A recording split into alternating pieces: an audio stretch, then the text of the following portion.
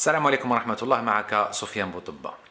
البارحة في آه، حلقة البارحة ذكرنا أنه الإنسان آه، يعني هناك كلمات يقولها بينه وبين نفسه وحتى بصوت مسموع وتلك الكلمات آه، ربما لا تساعده في جعل العقل تاعه أو عقله يركز على الأشياء الإيجابية ويركز على الإنجازات. لذلك هذه الحلقة ستكون تكملة بإذن الله وستكون لها شقين أو جزئين. الجزء الأول هو أننا آه، نحاول أن نوضح واحد واحد القاعدة تسمى تحفيز أو الحافز اللي هو لديها آه، خلينا نقول طريقتين للتحفيز. والجزء الثاني هو تمرين راح يكون تمرين بإذن الله. آه، تمرين له علاقة بالالتزام. وكيف نرى الالتزام بأفضل طريقة بأفضل طريقة حتى تعطينا مثال إن شاء الله أكبر أو أفضل النتائج. آه، لذا كنت مهتما بإذن الله بهذا بهذا الموضوع أشجعك على أن تكمل معنا هذا الفيديو. معك سفيان بطبة ومرحبا بك في رابع رحلة في هذه السلسلة 30 رحلة في دقائق خصصتها لشهر رمضان. قبل أن أبدأ أريد أن أشكرك على المشاهدة والمشاركة معنا. بإذن الله ستكون هناك يعني مواضيع كل مرة نتعمق في المواضيع حتى نوصل الفكرة عند نهاية هذه الرحلات بإذن الله. آه، كما قلت من قبل أن الحافز كل شخص لديه حافزين. لديه ماذا؟ حافزين. إحنا عندنا deux motivations. كانش ثلاثة كاين زوج. أول حافز أول حافز هو الحصول على المتعة. يعني كل شيء مربوط بمتعة معينة نحاول أن نتحصل عليه أو نحصل عليه. هذا أول شيء. ثاني شيء ثاني شيء الحافز الثاني هو تجنب الألم. يعني الحصول على المتعة أو تجنب الألم. وفي بعض الأحيان حتى هناك أشياء تساعدنا في حياتنا ولا نقوم بها بطريقة أو بأخرى معناه أنها مربوطة بالألم. مربوط ممكن ألم يكون نفسي ذهني أفكار سلبية آه هذه الأشياء كلها ربما تكون مربوطة بألم معين. فلذلك لا نقوم بها حتى ونحن نعرف وندري ونعي أنها في صالحنا. أحد هذه الأشياء في الالتزام أننا نستعمل كلمة يجب والمفروض يجب علي أن يعني مفروض علي يجب يجب يجب فكل هذه الأشياء لا تساعد على ال ال الوصول إلى ما نريد. راح نقول لك لماذا كل شيء مربوط بألم نتجنبه وغالبا الأشياء التي نقوم بها غالبا نربطها بالألم بعبارة يجب. فنربطها بالألم. مثال واحد يقول لك حبيت نعمل رياضة. حبيت نعمل رياضة. فيقول لك لازم نعمل رياضة. فيجهد نفسه بأسلوب خلينا نقول آه، قوي جدا. وهذا الأسلوب هذا ما يخليش أنه يصل إلى نتائج ويربط الرياضة بالسعادة. أي شخص في الدنيا هذه أي شخص في العالم كله حتى وإن كان هذا الأمر لا لا يناسبه وتلقاه يعمل فيه بطريقة أو بأخرى ربطها بالسعادة. أو بالرغبات. أما إذا تجد شخص هناك عمل معين ولا يقوم به والعمل هذاك يساعده في حياته سواء الشخصية أو المهنية فهذا معناه أنه ربطها بالألم. وإحدى الطرق هذه كما قلت أنه يستعمل كلمة يجب وينبغي. لازم عليا ندير هذه الحاجة لازم عليا نعمل هذه الحاجة لازم عليا نقرأ لازم عليا نعمل رياضة لازم عليا نعمل لازم عليا نفتح مشروع لازم وينبغي ينبغي ينبغي ف هذا الأمر ربما لا يساعد. لذلك أنا نعطيك في الجزء الثاني من هذا من هذا الفيديو تمرين. أول تمرين هو أن تكتب أنا كتبت لك هنا تمرين آه مثال مرة أسبوع في حياتك. أسبوع مثل الأسبوع الماضي مثل أول أسبوع من شهر رمضان. أو أذكر ما بين ثلاثة إلى خمسة أشياء تفعلها وتشعر أنه ينبغي, ينبغي عليك القيام بها. أنا ماذا بي تعمل الآن ورقة جبت معايا ورقة وركز معي لأنه موضوع مهم جدا. أه ورقة واكتب اكتب أول تمرين.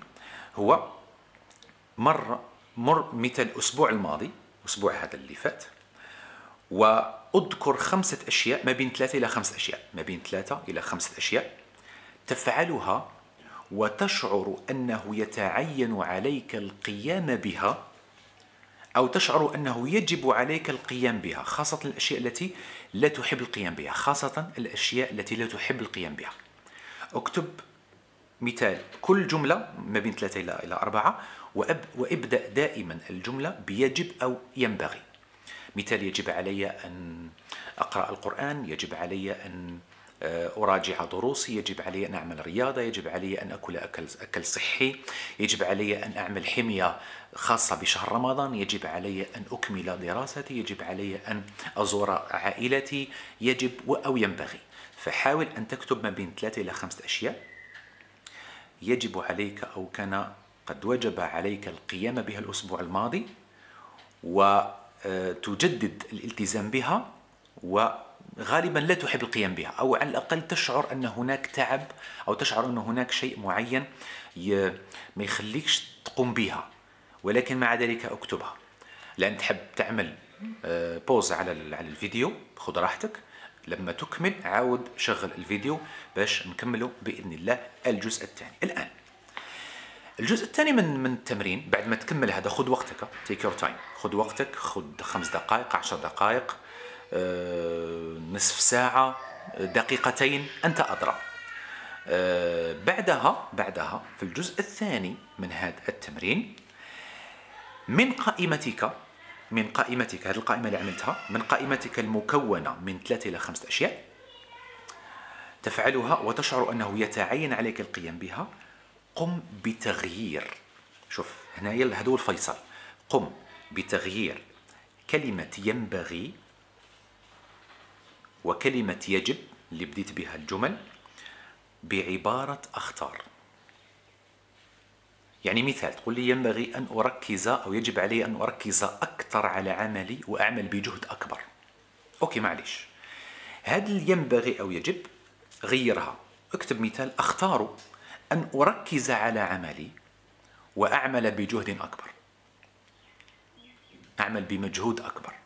مثال يجب علي أن أطور من نفسي أكثر. يجب. قل لك والله أنا لازم نطور من نفسي لازم نطور من من قدراتي من مهاراتي. هذه الجملة يعني انزع كلمة يجب أو ينبغي و غيرها بكلمة اختار اختار أن أطور من نفسي أكثر. ينبغي أن أنظم وقتي. اختار أن أنظم وقتي. فهمت الفكرة؟ ينبغي أن أحل مشكلة المماطلة. مثال. أختار أن أحل مشكلة المماطلة. فدائما في التمرين الأول انزع الكلمات التي لها علاقة بالوجوب وال... وينبغي وكذا وغيرها بكلمة أختار لأنه لديك الخيار في حياتك والإنسان مخير وليس ماذا؟ وليس مسير هذا التمرين بماذا سيفيدني؟ يقول لي سفيان شكرا لك على التمرين أنا سأقوم به على كل حال لكن ما الذي سيفيدني؟ يفيدك أنه ستنتقل درجة بدرجة ستنتقل من الألم إلى السعادة ستنتقل من ربط الأعمال التي أنت ملزم بالقيام بها من يجب وينبغي إلى الاختيار العمل آه، تنظيم الوقت المماطلة الرياضة الأكل الصحي النوم المبكر صلاة الفجر. كلها كل كل أعمالك التي ستفيدك في الدنيا وفي الآخرة وخاصة نقول هنا في الدنيا وين تلقى نتائجها إن شاء الله في, في, في الآخرة. هنا لو تعملها بالاختيار راح تربطها بالسعادة راح تربطها بالرغبة راح تربطها بالنشوة. لذلك بعد ستشعر أنه أن أنا اخترت لست مجبرا أن أنظم وقتي لكن اخترت أن أنظم وقتي. لست مجبرا مثلا أو لا يجب علي أن آه، أن أن أعمل في في الوقت لكن اخترت أن أعمل في الوقت. هذا التمرين سيساعدك على نزع رابط الألم بالأشياء المهمة في الحياة واستبدالها برابط السعادة في الأشياء المهمة للحياة. هذا هو هدف التمرين. الحلقة تاع البارحة أنا وصيتك أنك تعمل تكتب بعض الأشياء التي أنت ملزم بالقيام بها والتي عندما تقوم بها ستجد هناك نتائج مغايرة تماما وأفضل وربما سيكون هناك نقلة أو تكون هناك نقلة عفوا 180 درجة. فمن هذا المنطلق أرى من وجهة نظري أن تختار أو تغير كلمة يجب وينبغي إلى كلمة أختار. بهذا الأسلوب نأكد لك أنه إن شاء الله لما ندخل في المعلومات وندخل في التفاصيل مرة أخرى ستجد نفسك أنك آه، بديت تجد في نتائج. بديت تحس أنه هناك أشياء ملزم هناك التزام أنك تقوم بها لكن بالاختيار وليس بالوجوب. لما تعودها بالاختيار صدقني ونأكد لك أنك ستجد نتائج لم تكن تحلم بها. وهذه أنا نقولها لك عن تجربة. أنا أيضا هذه الأعمال اللي كنت أقوم بها كنت في ذهني أني مجبر أقوم بها أو, مل أو, أو, أو ينبغي علي. لكن في الأخير لا. وجدت أن هناك أعمال بعض الأعمال التي أختار وأن أقوم بها آه، لكن بجهد أكبر. لماذا؟ لأنه الآن لما تختار شوف ولكن الاختيار يكون يكون ب لديك طريقين طريقين لا ثالث لهما. الطريق الأول هو الطريق الصعب والطريق الثاني هو الطريق السهل. والسهولة والصعوبة ستجدها في طريقك لا محال. لكن هناك شرط شرط. إذا تبع مليح. وهذه العبارة أنا حابك تكتبها. إذا اخترت الطريق الصعب والطريق اللي فيه جهد وجهد مبذول وتركيز ووقت و و و ستجد حياتك سهلة. أما إذا اخترت ال ال ال الاختيار السهل نأكد لك أنك ستجد حياتك صعبة. السهولة والصعوبة موجودة في الحياة لكن لديك الاختيار في أن تختار الأسلوب والطرق السهلة فحياتك ستصبح صعبة. أما إذا اخترت الطريق الصحيح والطريق اللي ملزم أنك تقوم به واخترت الطريق الذي سيوصلك إلى ما تريد وبالطريقة التي يعني الطريقة الصحيحة ولو كانت صعبة لكن الحياة ستصبح أسهل. هذا ما أردت أن أشاركك إياه. آه، فقط آه، قم بهذا التمرين وإن شاء الله الحلقة تاع غدا أو حلقة يوم غد إن شاء الله سندخل في تفاصيل أخرى. لن أذكر الموضوع لأنه سيكون مثير جدا ومهم جدا لأننا بدأنا ندخل في تفاصيل هذه السلسلة. ثلاثون رحلة هذا فقط آه، بداية. فهذه الرحلات ما هي إلا بداية. السلام عليكم ورحمة الله وبركاته. سنلتقي يوم غد. تذكر أنك مستقل لكن لست وحدك. السلام عليكم.